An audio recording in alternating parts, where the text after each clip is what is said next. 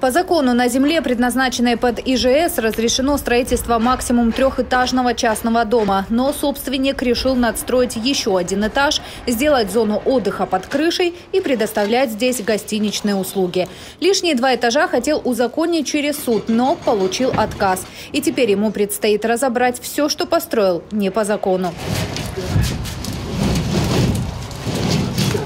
Кровлю, нанятые собственником работники уже сняли. Впереди самая пыльная работа. Чтобы снести саму крышу и четвертый этаж, нужна спецтехника. Она должна зайти сюда в ближайшее время. Служба судебных приставов будет производить контроль данного сноса в сроки должник должен произвести снос в течение двух месяцев. Если должник не произведет снос добровольно, как он согла... по соглашению с администрацией, то будет принудительная мера, то есть уже администрация через подрядчиков будет сносить третьей организации данный объект сноса. И должнику будет предъявлен иск о взыскании всех расходов по поводу сноса. В этом году в поселке Мирный и ближайших окружностях было снесено уже 12 многоквартирных домов.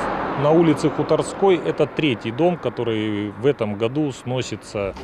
Все они изначально строились как индивидуальные жилые дома, а по факту вырастали до шести этажей. В большинстве случаев собственники демонтируют строение самостоятельно, иначе по закону они могут лишиться и земельного участка под своим самостроем. Татьяна Говоркова, Михаил Дубинин, телекомпания «ФКТ».